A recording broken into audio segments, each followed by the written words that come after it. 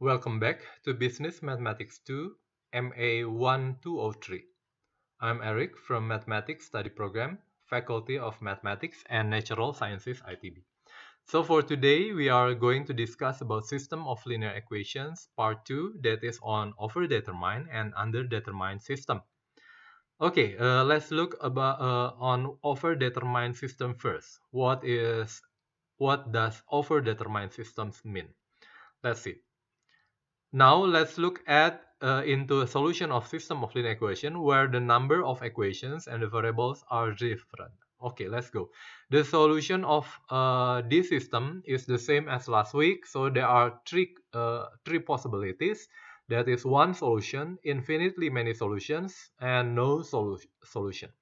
Let's say that we have three equations and two variables with the augmented matrix is given as follows. Okay, yeah.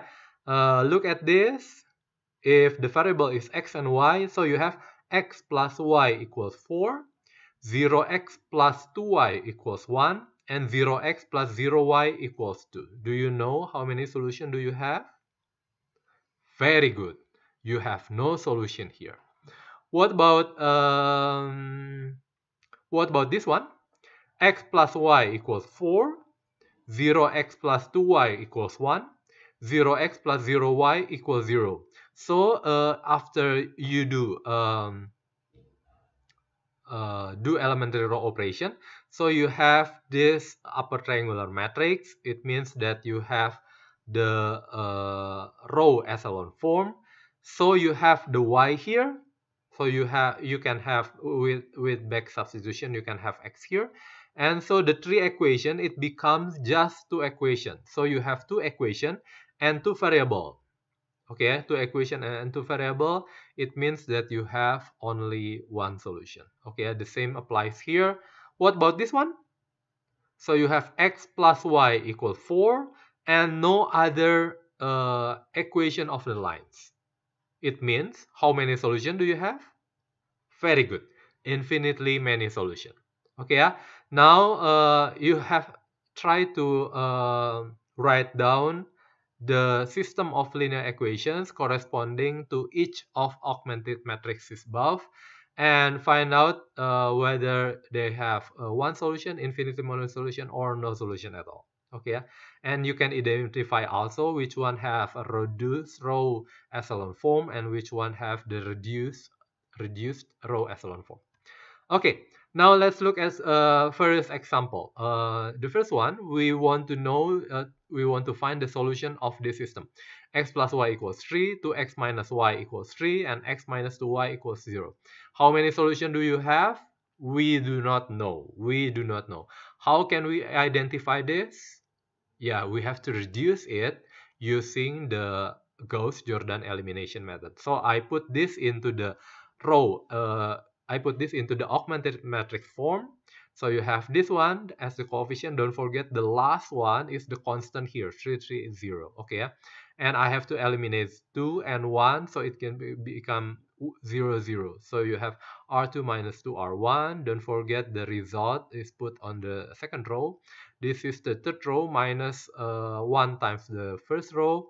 And you put it in the third row. So in the end you have this one. Okay and you can uh, bring this into 1 minus 1 third minus 1 third. So you have this one and then you can eliminate this one uh, r3 minus r2 so you have this one. Oh, okay okay. So in the end you have two variables and two equation okay yeah this is the row reduced echelon form. This is row echelon form. This is row reduced echelon form. Because in row uh, reduced row echelon form, every one, every leading one, we usually say uh, it should be zero in up and down. This is leading one, up and down should be zero. Okay, this is not a leading one. Okay, and so uh, can you guess how many solutions do you have? This is x equals 2 and y equals 1. Okay, so you have uh, just one solution for this system. Uh, to know this better, you can also uh, try to look it uh, graphically.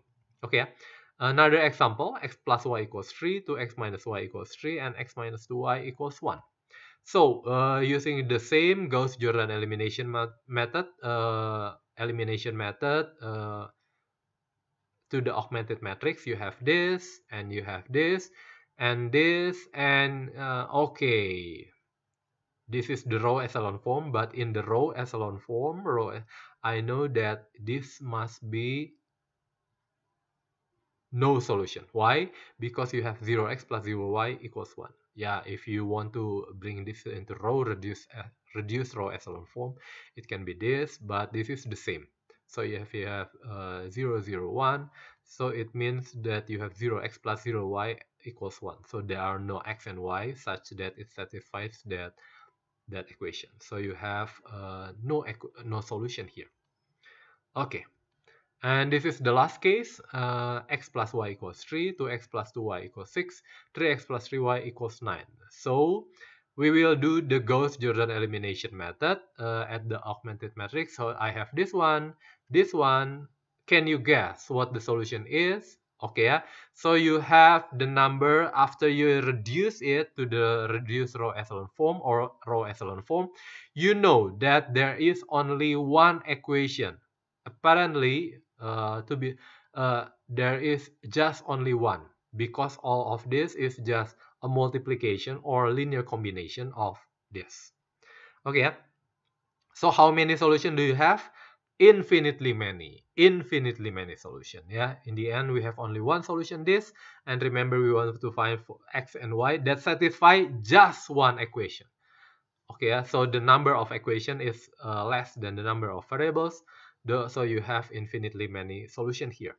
Okay now uh, we will look again what is the solution here okay from last week we know that this is infinitely many solution. This is infinitely many solution. If i have a number of equation less than number of variable i have infinitely many solution. But what is the solution? What is the sol solution? So this is uh, how we uh, write down the solution. Let's dig further. This infinitely many solutions so i have this one equation. X plus y equals 3 so what is x and y we usually let y equals arbitrary t in real. Arbitrary t in real. Then we have x plus t equals 3 so we have x equals minus t plus 3 so x equals this and y equals this. And t is an arbitrary real number. Any real number you want. Any real number you want.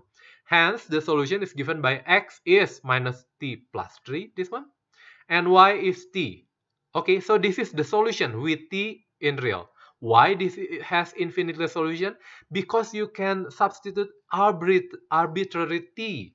You can substitute 0 3 comma 0 is the solution of this. Very good yes.